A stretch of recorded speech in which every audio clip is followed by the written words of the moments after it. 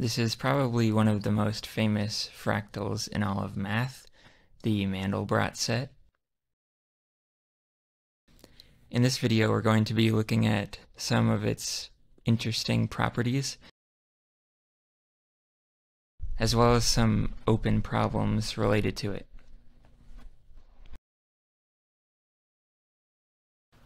First of all, how is the Mandelbrot set defined? If we start with a quadratic function, z squared plus c, where we think of c as a parameter, what we can do is start with 0 and iterate this function repeatedly. And we look at the values we get, and the Mandelbrot set is the set of values of c so that the sequence remains bounded. One way to visualize this is to start with the complex plane here it's tiled with a checkerboard pattern. And we repeatedly apply this function. So you can think of this as the graph of values of c. And then the next graph will be c squared plus c, and then values of c squared plus c squared plus c, and so on. So to graph this, we take the values of the function and color it white or black depending on where the point is in the complex plane. So after one iteration, we get this distorted picture. And then as we iterate this, we get more and more distortion. And already after a few iterations, the Mandelbrot set starts to come out. And that's because for points outside the Mandelbrot set, the sequence is unbounded, so the white and black regions get closer and closer together because small deviations cause large changes in the output of the function. So we end up with the Mandelbrot set with this tiling, and outside it, it looks like a grainy black and white pattern. And the more iterations we do, the closer we get to the exact Mandelbrot set. After a while, though, at least with the program I was using, the outside becomes pure black, and that's because the values are so big that the calculator can no longer handle it. This graph shows iterates of this quadratic function. So the green point is the value of c, and we're moving that around. And then starting at the origin and then moving to c, we move to c squared plus c and so on. And these points are all connected with the yellow segments.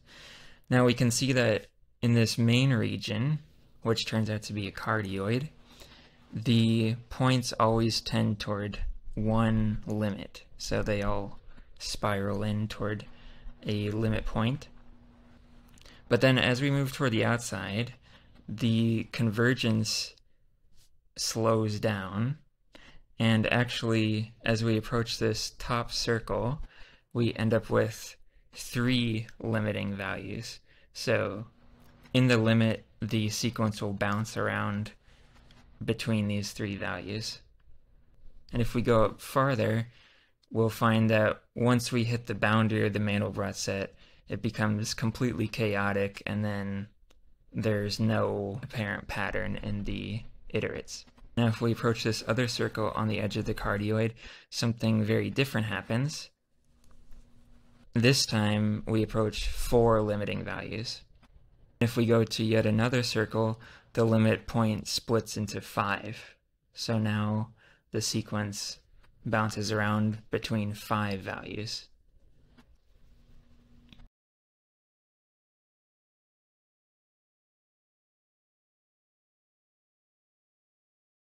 This picture shows the length of the cycles depending on which region you start in. So the main region has cycle length 1, meaning it tends to just one limit point. Then, as we saw, the top circle has a 3 in it because we get 3 limit points, and 4 and 5 from the other circles we saw. And in general, the smaller the region, the larger the number of limit points. So let's zoom in on this just to see more of the detail. if we start at this top circle, we notice a few interesting patterns. For one thing, we notice that the 3 has 6 and 9 attached to it, and the 5 has a 10 attached to it, and this pattern continues. The circles tangent to another circle will always have periods that are a multiple of the smaller period. And in general, as the circles get smaller, the periods get larger and larger. And there's also the sequence of circles whose period lengths are powers of 2, and there's some self-similarity there as well. However, the story is a little more complicated than that, because mathematicians don't actually know whether every piece of the Mandelbrot set has this number associated to it. In other words, we don't actually know if you start in a point inside the Mandelbrot set, so not on the boundary, will you always settle into a finite length orbit? So the regions where you do fall into this finite length orbit are called hyperbolic, and it's conjectured that these are the only interior regions of the Mandelbrot set, but that's not actually known. So there could be some tiny, tiny region where the sequence is bounded, but where you never ever settle down into a finite length orbit. And those regions are called ghost components because it's conjectured that they don't actually exist, but mathematicians aren't sure yet as to whether they do or don't exist. And this is actually one of the biggest problems related to the Mandelbrot set and actually complex dynamics in general. It's called the density of hyperbolicity conjecture, which says that there are none of these ghost components. Every point inside the Mandelbrot set that's not on the boundary will settle into a finite length cycle or approach a finite length cycle. And furthermore, these regions are dense in the Mandelbrot set. So no matter where you are in the set, there will always be infinitely many hyperbolic points around it with specific values of c, like for example negative 3 halves, we don't actually know for sure if it's hyperbolic. So if we do these iterations, we see what appears to be a completely chaotic sequence, but it may be that there are just a million or a billion limit points, and it's just hard to tell from the initial values whether that's the case or whether it never settles down. Now, one other very interesting thing about the Mandelbrot set is there's this function psi, which is a Laurent series, and so it's defined for values of z outside the unit disk, so absolute value larger than 1. And what it does is it actually maps the outside of the unit disk to the outside of the Mandelbrot set. And not only that, but it's a bijection, so it's a one-to-one -one correspondence, and it's infinitely differentiable. It's holomorphic. So it's really an isomorphism between the complement of the unit disk and the complement of the Mandelbrot set.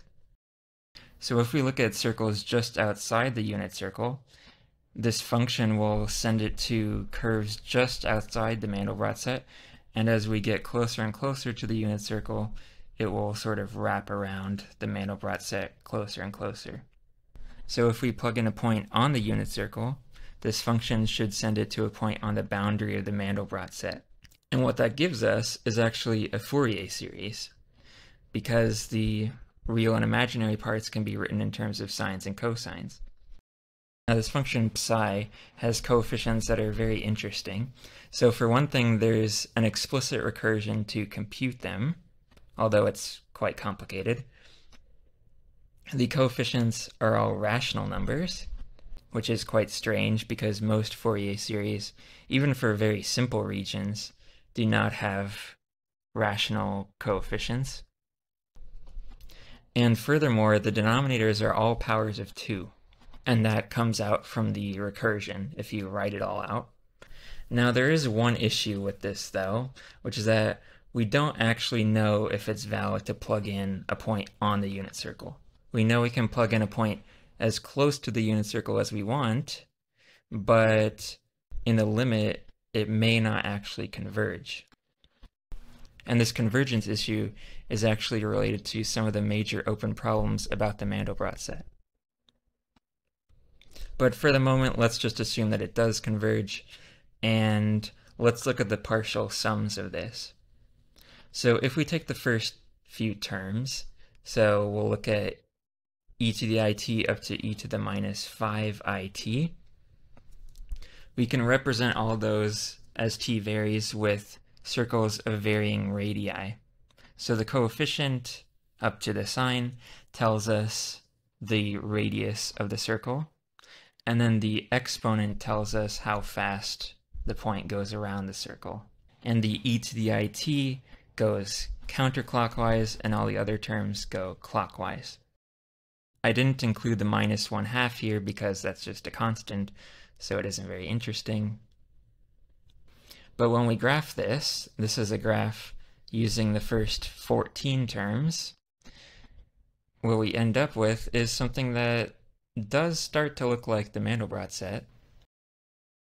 And as we add more and more circles, it should at least conjecturally, approach the boundary of the Mandelbrot set. Although the convergence is very, very slow. So this is a graph of what we get with the first 4,096 terms. And, well, it looks pretty good. But, for example, all the circular regions on the outside of the cardioid should actually be tangent to it.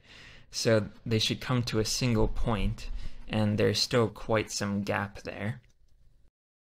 Now, the convergence of this Fourier series actually implies two of the largest conjectures related to the Mandelbrot set.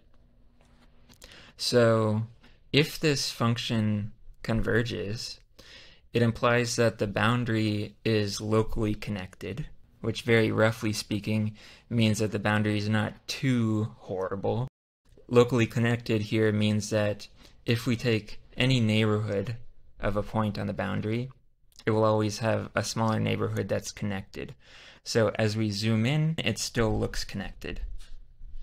A counterexample to this would be if we had some kind of crazy oscillation near a boundary point, like in this diagram, where as we zoom in, no matter how far we go, there will always be these pieces of the oscillating waves that are cut off by the region, and so we don't ever get a connected set. So that's the sort of thing we want to avoid. And it's conjectured that this is true, but it's not actually known. And this locally connected conjecture implies the hyperbolicity conjecture that I mentioned earlier. So it implies that there are none of these ghost components so every region in the interior does have this periodic cycle in the limit. So not only are the points bounded, but they always settle into a finite orbit as long as you're not on the boundary. I thought I would finish by mentioning this interesting article by John Ewing, who was one of the first mathematicians to look at properties of these Fourier series related to the Mandelbrot set. And although the article was over 30 years old, actually most of the open problems that he mentions in this article are still unsolved, including the two I just mentioned, the local connectivity and the hyperbolicity conjectures. One particularly interesting part of the article is these two diagrams. So keep in mind that these were made with 1990s technology. So this was before we had an extremely accurate view of the Mandelbrot set. The picture on the left was made by just testing points in the complex plane to see if the sequence stays bounded. The picture on the right was made with the Fourier series although with many more terms than in the pictures I showed earlier. And one thing that really stands out is the picture on the left does not have these filaments coming out of the circles. And so, even though the Fourier series converges extremely slowly, it actually gives a more accurate picture of the Mandelbrot set than just testing points one by one in the complex plane. Nowadays, we don't really have this issue with accuracy because computers are so advanced that they can give us a much more detailed picture than this.